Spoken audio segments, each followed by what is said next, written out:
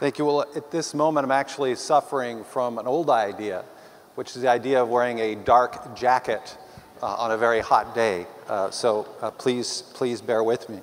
Um, first, want to recognize uh, Kevin and Rosalie before they go to the green room uh, on, a, on a terrific first day uh, of SOCAP.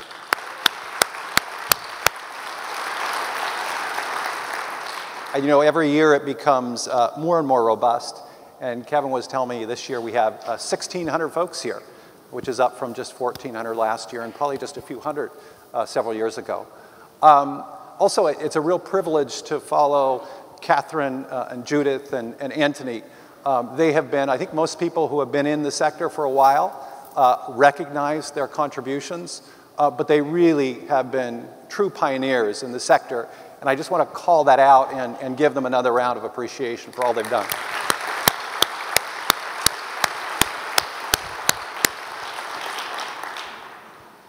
Now, and also just remarking on one of the comments, one of the things that struck me, one of the themes was uh, from, from Anthony and, um, uh, and Catherine was this notion of all, all, use all tools, think about the problem first, and we absolutely have that expression in Omidyar network as well, which is problem first, tool second.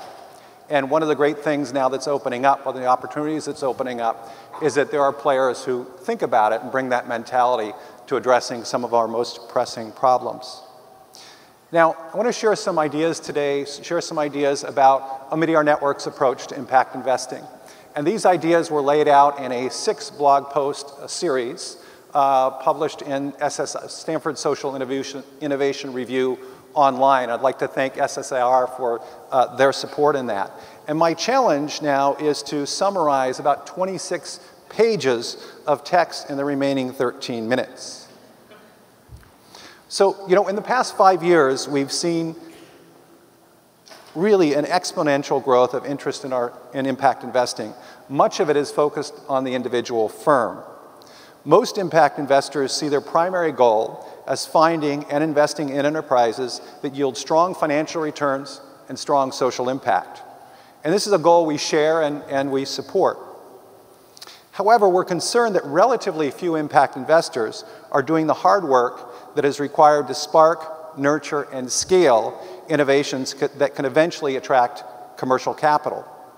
It's as, if, it's as if everyone is waiting around the proverbial water pump for these, this flood of high social impact, high financial return investments to come through, and nobody's actually doing the hard work to prime the pump. So we think a fundamental shift is needed from an approach based mostly on finding and funding individual firms to an approach centered on sparking, nurturing, and scaling entire sectors for social change.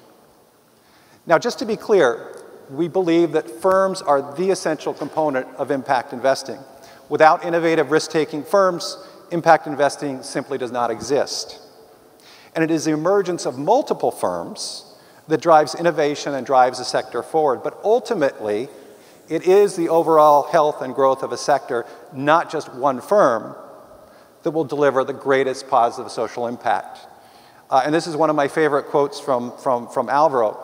Uh, single firms are born, mature, get lazy, and they die. But industries prosper over time and reach scale as competition fosters the delivery of better products at lower cost. Now, the only thing that slightly troubles me about this quote is I know Alvaro, and I know Michael Chu as partner, and, and I, I can't imagine them letting any of their firms get lazy. But outside of that, uh, I think they capture the essence of what we're talking about here. So, why does this matter? What's, what's really at stake?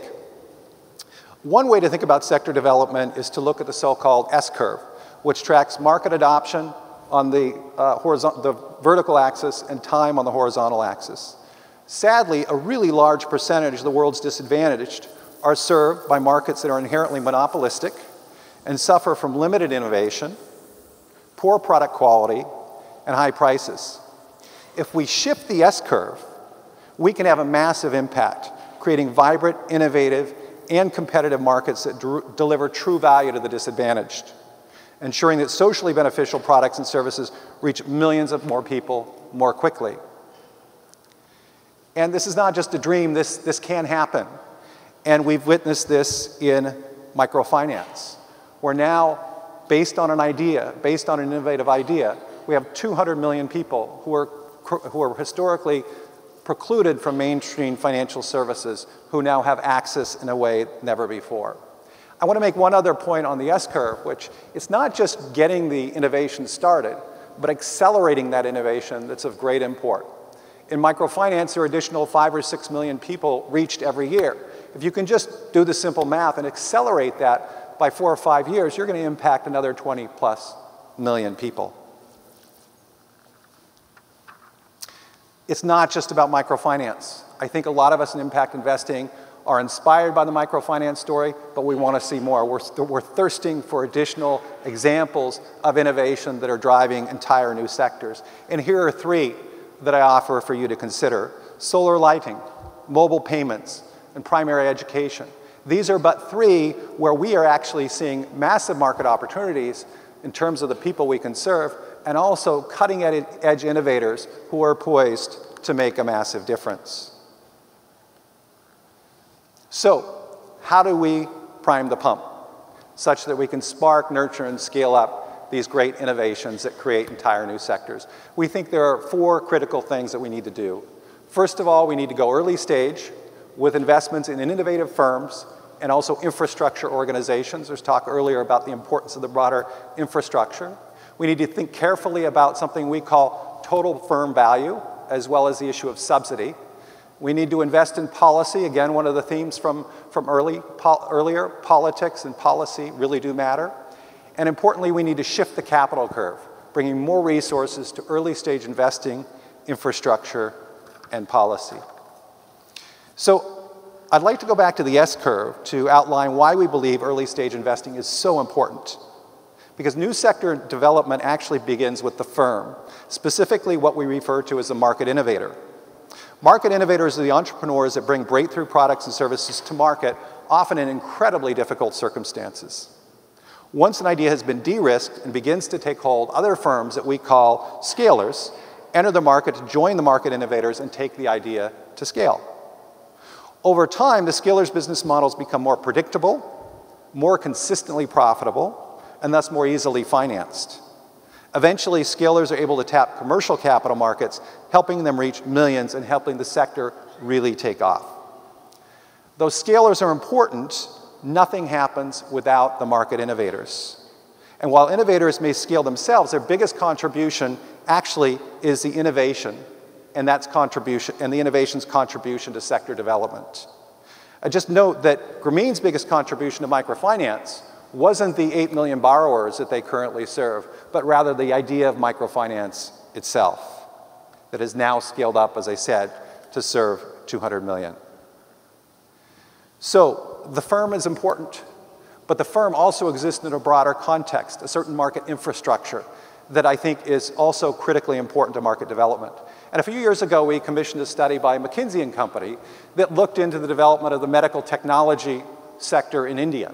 And one of the things McKinsey looked at is the infrastructure and what would be required to create a proper infrastructure environment in which medtech in India could really take off. And they came up with several things that were absolutely critical consumer education, technical skills, market standards, and access to credit. And this may seem not to be terribly glamorous stuff, but it's absolutely crucial.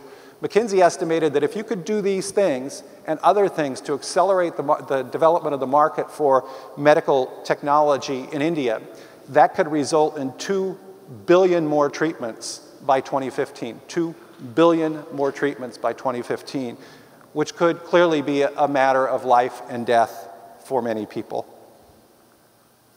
Now, unfortunately, impact investors tend to underinvest in market infrastructure just as they underinvest in market innovators. Now, much of this investment is due to relative return expectations. Market infrastructure organizations and firms in underdeveloped markets tend to be low return businesses or not for profits. And innovators range, from, range along the returns continuum, but are inherently seen as riskier, highly variable, high beta kinds of investments. Scalers, however, offer the prospects of lower risks and higher returns not surprising where the capital will flow. Now, Omidyar Network has evolved in the way that we think about our grants and investments. Historically, we did embrace sector development, But, and we also embraced, embraced uh, what we call flexible capital, the notion that we would invest in grant capital and we would also invest in individual firms. But in the early days, we actually did not, we, we expected all of our investments, all of our for-profit investments to generate risk-adjusted returns. Because we felt that if we did not, if we relaxed our return expectations, that we would potentially distort markets and introduce sloppy investing. Over time, however, we realized that if we did not consider the value that the firms are delivering to the sector, that we would systematically underinvest in market innovators. So this led us to this, this concept of total firm impact, total social impact of a firm. And the notion that the total social impact of the firm is not just a result of the, of the individuals that it directly serves, but also is, is, is, or you also need to consider the impact it's having on moving a sector. So this led us to actually loosen our constraints around always demanding risk-adjusted returns investments. Now, our investment in Bridge Academies International is a good illustration of this approach. So Bridge Academies, I think many of you are aware, uh, has developed a chain of 80 plus schools that serves the base of the pyramid in Kenya. Fabulous education, about $4 a month in tuition. And when we initially looked at Bridge, we actually were not terribly optimistic that it would generate risk-adjusted returns.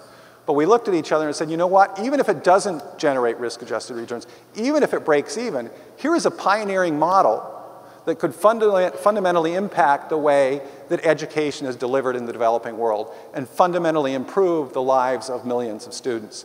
And not just through Bridge's own efforts, but we felt that Bridge, by pioneering the model, would inspire entrepreneurs around the world who would take up this innovation, improve it, and serve many, many more millions than Bridge ever could on their own. Of course, if you're willing to accept lower than risk-adjusted returns, then you're effectively providing a subsidy. Now, this recognition sparked a really vigorous debate uh, within Omidyar network about the desirability of subsidies. And I don't have time to get into the particulars. You can read the blog posts, I suppose. Um, but suffice it to say, it's a really complicated set of issues. And we think this notion of total social impact of the firm is one sort of governing issue that I think should influence the way people think about subsidies. And there's a couple other really important issues, which are the size of the market of the firm you're supporting, the, the market size of the market they're trying to address, and the disposable income of the customers that they're trying to serve. And obviously, if you're, serve, if you're, if you're engaging in a market that is um, relatively large with relatively prosperous uh, customers, then you probably don't need a subsidy. Uh, and a lot of our uh, efforts, a lot of our investments in mobile payments sort of fit that bill. On the other hand, if you're, in, if you're investing in a relatively small market with um, a relatively poor customer base, then perhaps subsidy is, order, is in order. And for us, a good example of that is our investment in BRAC Microfinance in Sierra Leone and in Liberia. Now, so we've talked about two tools to move sectors innovators and infrastructure. A third tool, policy, is also important, right? And I think it's particularly important to recognize that if you are serving a disadvantaged customer base and you serve them poorly, then you don't succeed. If you serve them well and you generate a profit, you could still fail if your efforts are not aligned with the policy environment and with politicians who feel that they are acting in the best interest of the disadvantaged. And a good example of what can happen if we get policy and politics and relationship with government wrong is Andhra Pradesh in India, where the microfinance crisis and the fallout resulted in 10 million fewer people having access to microfinance services. And by the way, this is not a one-off. I think this generic issue of being conscious of the implications uh, or in the importance of developing good relationships with government is, is absolutely critical. Now, thoughtful, well-informed government policy can actually accelerate the development of market. Government has three roles, I think, in particular that are important.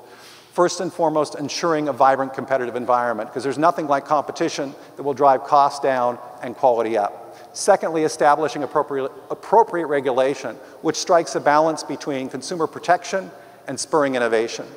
And third, fostering an entrepreneurial ecosystem where the entrepreneurs feel that government is promoting their efforts and helping them succeed rather than hindering.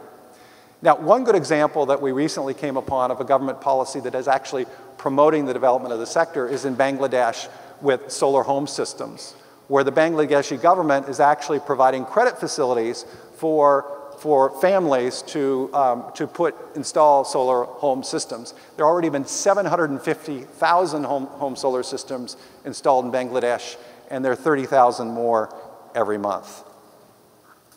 Now, at Omidyar Network, we focus on spurring sector development, and we've consistently done this. In microfinance, for example, we've invested $100 million across 70, 27 organizations across the spectrum, equally split for profit, not for profit. We're taking a similar approach to our work in developing world mobile payments. And you see here, we supported a number of incredibly innovative firms, but also organizations that are providing a robust infrastructure and a strong and improving policy environment. Now, we prefer investing in early stage catalytic enterprises and infrastructure, but candidly, it's a lonely game. Uh, while there are billions of dollars going into uh, firms that can generate risk adjusted returns and high social impact, there are relatively modest amounts of capital going to uh, early stage innovators. Now, I think if you look at the capital curve and the capital continuum, there is opportunity. I think commercial capital markets, as discussed, have the potential and will continue to take ideas that have already been de-risked, that are commercially viable, and really help them scale up. I think development banks and institutions also have a role. Historically, they have su supported commercially viable firms that were not yet able to tap the capital markets. And I think Judith refer referenced uh, uh, USAID and OPIC and DFID, number of development agencies that are trying to go earlier stage, and that's a promising development. US foundations, meanwhile, have the biggest pool of grant capital. They deploy $47 billion a year, most of that in grants. And they are familiar with and quite adept at thinking through a broad set of issues, such as policy and infrastructure that help move a market along. Two last slides, Kevin. He's trying to get us all out of here and into, into hopefully cooler surroundings. One other really interesting uh, potential source of funding is ultra high net worth individuals. Now, these numbers are absolutely stunning. The, 400, the Forbes richest 400 Americans alone control $1.7 trillion of wealth. The, just the Giving Pledge members um, control, and there are about 90 plus of them, control $433 billion of wealth. And these are people who, many, many, way, many cases, have made their money through business and through innovations, and many of whom embrace market based solutions but have a philanthropic mindset. So we're quite helpful that they will join the other capital providers in providing this sort of flexible capital that helps the market move forward. So, to wrap up, the, the challenge ahead of us is as urgent as it is critical. Uh, as noted, a large percentage of the disadvantaged are served by markets that are inherently monopolistic and suffer from high prices and low quality. Uh, however, I do think we can absolutely change this picture, and we can prime the pump for real sector level change if we can invest earlier stage in innovators, in policy, and infrastructure that can serve and create opportunity for millions and millions. And I encourage you to read our, our blog post. They are on the, the thumb drive. And I, I hope that some of our ideas here will spur further discussion uh, and insight, and we look forward to the dialogue. Thank you very much.